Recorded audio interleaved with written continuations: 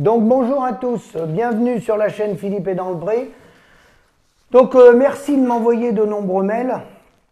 Je ne vais pas répondre à toutes vos questions, j'ai beaucoup de retard par rapport à tout ce que vous me demandez. Je vais évoquer déjà pas mal de thèmes, euh, essayer de les faire assez rapidement. Alors tout d'abord une réflexion euh, sur la situation de l'élevage bovin, bovin viande, bovin lait, mouton, je peux les mettre dedans, les porcs, les chèvres et tout. Situation sans précédent, hein. catastrophe dans l'élevage, ça arrête de partout. Les associés quittent les GAEC quand il y a des départs en retraite. Les gens, euh, vous pouvez aller voir sur le greffe du tribunal des commerces, vous pouvez consulter, euh, tout le monde peut le faire. Les gens, ils partent euh, quand ça va bien entre 60 et 100 000 euros, beaucoup 75, 80 000 euros. Voilà, voilà avec quoi les gars partent, les hommes ou les femmes, au bout de plus de 40 ans de travail. Voilà le travail. Donc c'est le grand déménagement du territoire parce qu'il n'y a pas de rémunération. Je l'ai dit, je le répète, mais la situation s'aggrave et c'est l'élevage qui part à vitesse grand V, même s'il y a d'autres productions qui sont touchées. Hein, le maraîchage, la vigne en coopérative, les gens sont touchés également en coopérative dans, la viticulture. Donc, les données France Agrimaire, euh, quand on vous dit, parce que j'ai eu plein de questions là-dessus, que la collecte de lait repart à la hausse, hein, ils, seraient même presque capables de nous dire qu'il y a une reprise dans la viande bovine et dans les moutons, ne croyez pas ces gens-là. Vous n'avez pas besoin d'être adhérent euh, aux organismes de statistiques ou à France Agrimaire. Vous regardez dans votre entourage, vous regardez à l'échelon de votre commune, de votre canton et de votre département. Vous prenez depuis 10 ans, très facile, c'est très facile à faire. Vous regardez les millions de litres de lait qui sont partis par commune ou par canton, hein, et vous regardez ceux qui se sont agrandis. Et vous allez tout de suite comprendre que c'est des bobards. Hein. Le lait, il vient de l'extérieur. Ils transforment un volume de lait, mais ils s'échangent le lait entre eux. D'ailleurs, à ce, à ce titre, j'ajoute un détail important. Hein. L'industriel fait la facture, il gère, les volumes, il gère les importations, il gère les exportations. Ils font des échanges de lait entre eux. Mais ça, c'est pas d'aujourd'hui. Hein. vous vous rappelez que depuis les quotas et pendant les quotas, un agriculteur, quand il avait trop de lait, il n'avait pas le droit d'emmener le lait chez son voisin. On appelait ça les tanks à roulettes. Il était sanctionné s'il emmenait du lait chez le voisin. Eux, ils font ça toutes les semaines entre eux. En tant qu'illicite, entre eux sur le lait. Alors que nous, on est verrouillé par les contrats, on doit livrer tout au même industriel et on a le droit de rien faire. Donc les chiffres France Agrimaire, moi je n'ai pas les éléments pour vous le prouver. Parce que bien sûr, ceux-là, ils sont pas faciles à trouver ces éléments-là. Mais pour moi, c'est faux. La production, elle est en chute libre, elle est en baisse. Que ça soit en lait, que ça soit en viande bovine, partout. Les gens abandonnent l'élevage. Donc ça, c'est tout simplement pour donner une dynamique pour essayer de piéger des petits soldats. Un autre thème que je prends très rapidement, qui n'a rien à voir. Euh, merci Didier, Didier Gadea du MODEF, je te salue Didier. Je mets en lien tout ce que je dis, hein, comme ça les gens pourront vérifier. Euh, tu interviens sur la viticulture, on échange euh, assez de temps en temps par téléphone. Il faut débloquer une aide à l'hectare de toute urgence. Alors je te réponds oui Didier, parce qu'on est tous pris malheureusement, on est en état d'urgence dans nos productions. Hein. Mais il faut reprendre la main, Didier, en viticulture comme dans le reste, il faut reprendre la main sur les acheteurs et sur nos coopératives. Tant qu'on ne sera pas capable d'encadrer nos industriels, on n'y arrivera pas. Et ça, tu le sais très bien, ça remonte de longue date, c'est ni de ta faute ni de la mienne. Euh, il y en a qui ont essayé avant nous, hein, dans les années 70, 80, 90, et ils ont échoué. Ils se sont fait virer des conseils d'administration des coopératives. Autre thème, j'ai eu beaucoup d'SMS et de mails concernant l'électricité. Alors l'électricité, il y a de tout. Hein. Moi j'ai appelé plusieurs opérateurs, ceux qui sont en dessous 36 kg, il y aura le, bouclier tarifaire mis en place par le gouvernement, il n'y aura pas plus de 15% d'augmentation hein, sur les moins de 36 kg. Alors on entend de tout, ça dépend des contrats qu'ont fait les gens, certains disent que c'est vrai, d'autres disent que c'est faux. Euh, une chose est sûre, au-dessus de 36 kg, c'est la catastrophe. Hein. Donc bien entendu qu'il faut que le gouvernement y mette le bouclier, le, bouclier pardon, tarifaire, même pour les plus de 36 kg. Mais qu'est-ce que ça montre ça? Ça montre quelque chose d'intéressant. Les gens sont affolés, ils appellent sans arrêt, il y en a, ils font que de m'appeler avec la hausse de l'électricité en disant Tu te rends compte On va plus pouvoir travailler dans nos exploitations, on va plus pouvoir faire tourner les hors-sols, euh, les robots de traite, etc. Si l'électricité est multipliée par 3, par 4. Eh bien, je vais vous dire ce que c'est, les gars, ça. C'est très simple. Il faut bien prendre le temps de réfléchir de ce qui est arrivé dans l'électricité. Hein je ne vais pas faire le débat sur euh, comment on a détricoté l'ODF, un service public qui fonctionnait très bien. Et on va faire la même chose pour le chemin de fer. Ça, faut bien le comprendre. Hein. C'est ça le marché libéral, les gars. Alors le marché libéral, la mondialisation, on est les plus forts, hein, comme se comportent beaucoup d'agriculteurs. On veut bouffer la ferme du voisin, on n'en a jamais assez, on veut s'agrandir, on veut des grandes fermes, on veut 500 vaches, on veut 1000 vaches, on veut 100 000 poules, euh, on veut 500 euh, 000 cochons. Très bien, c'est le modèle libéral, ça. Et bien là, vous avez le retour du bâton du modèle libéral, avec ce qui se passe pour l'électricité. C'est ça le modèle libéral. Alors, les gars, deux choses l'une. Soit on est pour le modèle libéral et on l'assume. On l'assume jusqu'au bout. Quand il est à la hausse et quand il est à la baisse. Dans les deux sens. Mais quand il est à la hausse, bizarrement, les grands libéraux, il appelle au secours le gouvernement. Il appelle M. Macron au secours. Hein? Si c'était euh, M. Sarkozy, ça serait pareil. C'est des grands libéraux, mais il appelle au secours le gouvernement quand ça va mal. Donc je vous demande juste de réfléchir sur vos positions. Quand on est un grand libéral, on se débrouille tout seul.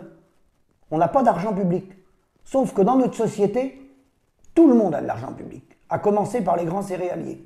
Donc, c'était une parenthèse. Ensuite, euh, alors, un autre thème, je vais les faire court parce qu'il y en a plusieurs. La FNSEA et les chambres d'agriculture adhèrent euh, à France Agri-Voltaïsme. Oui, les, panneaux dans les champs, l'agri-voltaïsme. Donc la FNSEA et les chambres d'agriculture adhèrent à ça. Les jeunes agriculteurs sont avec la Confédération paysanne contre le projet, contre ces projets. Bon, moi, il n'y a rien de surprenant. Je vous avais parlé de la méthanisation, je vous avais parlé de l'éolien, je vous avais parlé de tout ça. Moi, je ferai la différence entre la position, euh, les méthaniseurs, ils ont été développés à l'époque par l'équipe de la FNSEA avec Xavier Belin, avec un accord avec le groupe GDF Suez pour faire du profit avec l'énergie. Là, c'est pareil, c'est pour faire du profit avec l'énergie. Moi, je ferai la différence entre nos responsables agricoles qui entraînent le modèle agricole vers ça et les agriculteurs sur le terrain. Parce que critiquer les agriculteurs sur le terrain qui montent un méthaniseur, qui ont de l'éolien, qui montent du photovoltaïque sur leurs bâtiments et demain dans les champs, c'est contre-productif. Pourquoi? Parce que c'est le déménagement du territoire. Les gens ne peuvent plus vivre dans les exploitations. Et les gens sont pas forcément, ils valident pas forcément ces projets-là, mais ils cherchent une porte de sortie. Comme il n'y a pas eu de réel plan agricole pour nous permettre de vivre dans nos exploitations, eh ben les gens, quand ils trouvent une bouée de sauvetage, que ce soit le méthaniseur ou autre, je ne dis pas que c'est bien, mais ils cherchent une solution, ils cherchent une porte de sortie. Parce qu'il n'y a aucun politique qui a été capable de mettre en place une trajectoire agricole avec une vraie souveraineté alimentaire agricole. Ils nous ont emmenés dans la compétition, modèle ultralibéral, la théorie de David Ricardo. Donc voilà les résultats. Donc il est évident que ça va rapporter plus à un agriculteur de produire de l'énergie que de faire des vaches, des cochons ou des lapins. Il est là le débat, c'est tout. C'est pas que les agriculteurs valident ça, c'est qu'ils sont pris au piège.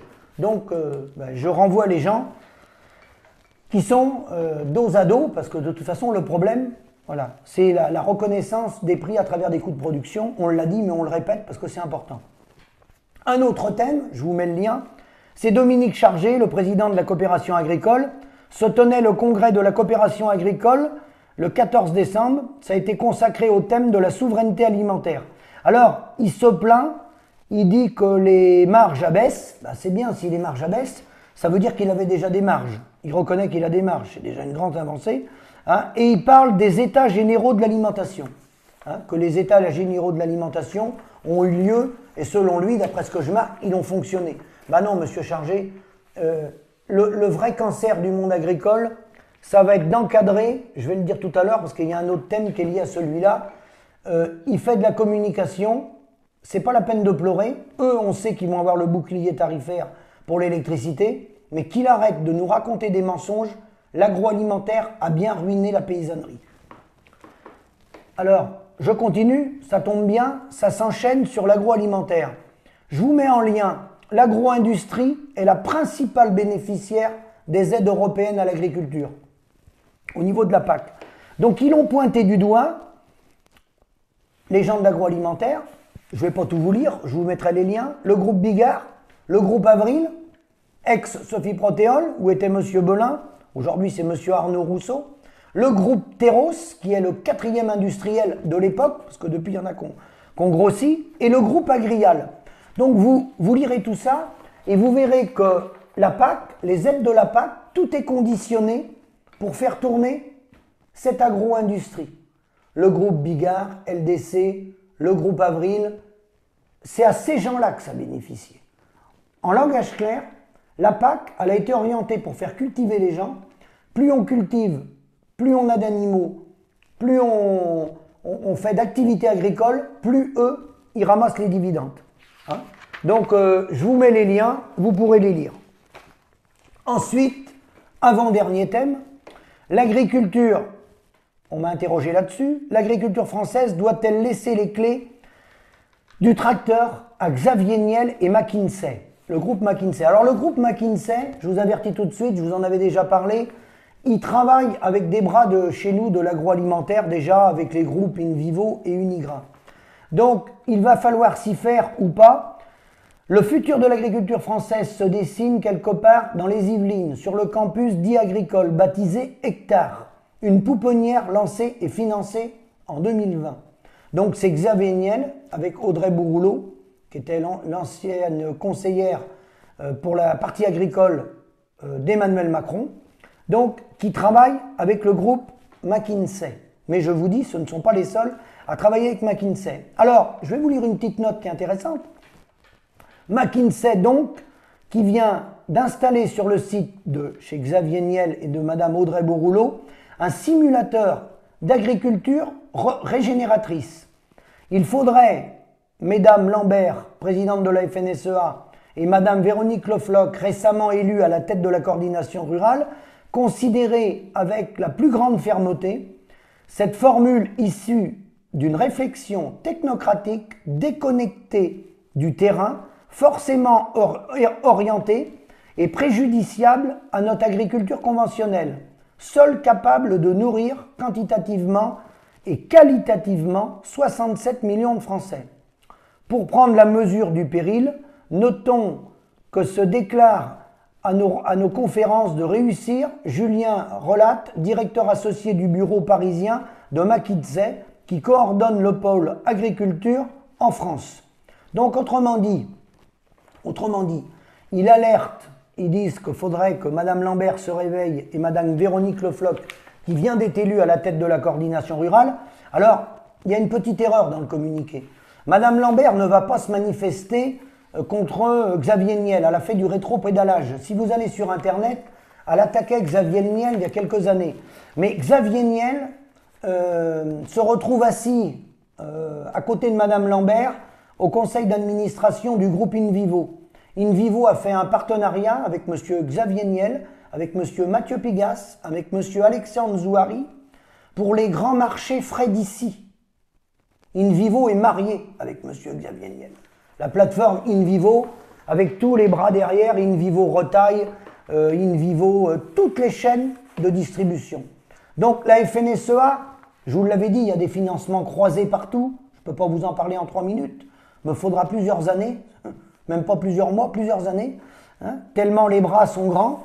Euh, il travaille avec Monsieur Maxamienel. Alors demandez, demandez à Véronique Lefloc, bien sûr, avec qui euh, je suis en contact, demandez-lui, euh, mais laissez-lui le temps de souffler. Elle vient d'arriver. Bon, laissez-lui le temps de souffler. Demandez-lui de faire quelque chose, oui, bien sûr. Véronique peut faire quelque chose, mais pas Madame Lambert, parce que Madame Lambert, elle est euh, prise euh, en contrariété avec les financements croisés dont elle-même bénéficie. Donc euh, ça m'étonnerait qu'elle se tire une balle dans le pied. Ça serait dommage qu'elle se tire une balle dans le pied à, quelques mois de la retraite. Elle va, pas, va quand même pas se blesser à quelques mois de la retraite. C'est quand même intéressant qu'elle garde ses dividendes. Donc, à propos de ces dividendes, dernier sujet, dans mon département, juste à côté de chez moi, à 30 km de chez moi, l'agglomération de Cholet. Cholet dans le 49. Une attribution, on m'a envoyé un mail, je suis en contact avec des élus de l'agglomération qui m'ont contacté. Euh, l'agglomération de Cholet a décidé d'attribuer 8000 euros de subvention pour le prochain congrès de la FNSEA qui va se tenir à Angers au mois de mars. Alors, moi, je m'interroge comment une mairie comme Cholet Cholet, c'est autour de 60 000 habitants. Euh, comment une, euh, une mairie comme ça peut décider d'attribuer de l'argent public à un syndicat et pas aux autres syndicats Je m'interroge. Hein. Je m'interroge euh, quel est le sens de cette subvention? Ce syndicat, la coordination rurale, où est Véronique Lofloc, a environ 3 200 000 euros de subventions chaque année de l'État français. La Confédération paysanne, à peu près 3, 3 200 000 euros également. Le syndicat MODEF a environ 400 000 euros de subventions annuelles. La FNSEA est plutôt autour, on va dire, de 11 à 12 millions d'euros par an, sans compter les cotisations volontaires obligatoires qui sont prises dans toutes les interprofessions de façon obligatoire qu'on fasse des canards, des lapins, des poulets, des cochons, qu'on plante de la vigne, hein, via les interprofessions, ils ont un financement. Et ils ont en plus entre 11 et 12 millions d'euros. Donc, voir cette cogestion avec des moyennes villes, je suppose que la ville d'Angers, c'est la même chose, euh, moi je trouve que l'argent public des concitoyens et pourrait aller à des choses plus utiles qu'à financer un syndicat qui est le syndicat, qui est le premier syndicat, pas agricole, qui est le premier syndicat français de l'agroalimentaire, et qui, je vous le rappelle, a 11 à 12 millions de subventions de vos impôts des Français, avec 25,84% de représentation des paysans. Il représente 25,84% des paysans. Eux, ils vont vous dire 50%, mais non, c'est de ceux qui ont voté. Mais sur l'ensemble des paysans, ils représentent 25,84%. Alors, je terminerai ma vidéo sur les questions auxquelles j'ai toujours pas de réponse. On avait été un groupe d'agriculteurs demander des comptes à Madame Lambert, elle avait refusé de nous recevoir parce que la presse la dérange, elle n'a pas envie de répondre aux questions, mais elle va y répondre aux questions. Tôt ou tard, elle va y répondre. Parce qu'on est en lien avec des gens et on va demander des comptes. On va demander des comptes par des gens qui sont assermentés pour demander des comptes. On est obligé de demander des comptes. Parce que là, il s'agit, d'argent public. Donc je vais reposer ma question, puisque la Bouillet Ménard, elle n'était pas présente. Donc je n'ai pas pu lui demander, mais rassurez-vous, on va lui demander. Et même si elle quitte la FNSEA, on va lui demander. Et à son prédécesseur, mais on va leur demander des comptes. On est obligé de demander des comptes avec deux morts par jour. Quel est à la FNSEA, puisqu'il y a un budget à la FNSEA, il y a des cotisations, il y a les subventions publiques, il y a les subventions en tout genre, de l'agroalimentaire. Quel est le pourcentage, madame, du travail accumulé dans le budget de la FNSEA Quel est le pourcentage du travail immédiat? Et quel est le pourcentage le pourcentage hein, de la plus-value? Vous savez ce que ça veut dire. Vous savez très bien ce que ça veut dire. Le pourcentage du travail immédiat sur le produit intérieur brut, c'est 1240 milliards d'euros. Et le produit accumulé sur le produit intérieur brut de la France, c'est 620 milliards d'euros actuellement. Et la plus-value, c'est 560 milliards d'euros. Donc vous maîtrisez l'économie, vous maîtrisez les chiffres, moi, je vous demande maintenant les pourcentages, les mêmes que sur le produit intérieur brut de la France. Moi, je vous les demande, mais à la FNSEA. Voilà. Et vous les avez. Il faut les donner. Parce que vous touchez de l'argent public, vous devez éclairer non pas les paysans, mais les concitoyens. Car je vous rappelle que tous les Français payent des impôts. Même celui qui est au RSA. Puisque 70% des impôts sont des impôts indirects et seuls 30% sont des impôts directs. Donc là, c'est même pas une histoire de polémique, c'est une histoire de transparence. Les comptes, vous devez les donner. Et vous allez bien finir par les donner. Je vous remercie pour tous vos mails, pour toutes vos questions. À la prochaine vidéo, je vais me déplacer dans des exploitations, des exploitations avec des modèles totalement différents. Je vais vous faire voir des modèles totalement différents euh, dans les, dans les semaines à venir, gens en robot de traite, des gens en modèle totalement autonomie qui se sont installés sur des petites surfaces. Ça sera pour les prochaines vidéos à venir. Et puis la réponse de l'Assemblée Générale qui s'est tenue en Vendée, où Laurent euh, a appelé les éleveurs à se manifester. On vous fera le compte rendu. Je vous dis à bientôt. Bonne soirée.